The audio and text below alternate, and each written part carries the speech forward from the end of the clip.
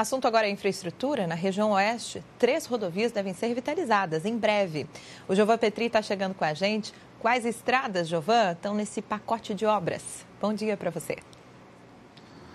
Bom dia, Marta, a todos que nos acompanham aqui no SC no Ar. Esta é uma das rodovias que está neste pacote de licitações, a BR-480, acesso a Chapecó. Esta publicação foi feita no Diário Oficial da União através do DENIT e mostra outras duas rodovias também que estão neste pacote aqui no nosso, na nossa região oeste de Santa Catarina. São elas a BR-282, entre Chapecó e Maravilha, a BR-158, entre Maravilha e a divisa com o Rio Grande do Sul.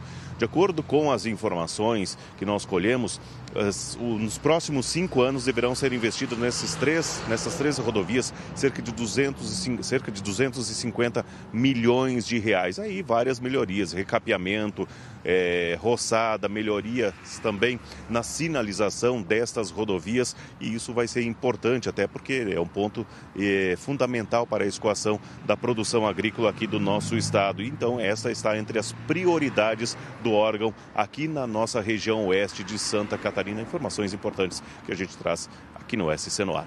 Volto com vocês no estúdio.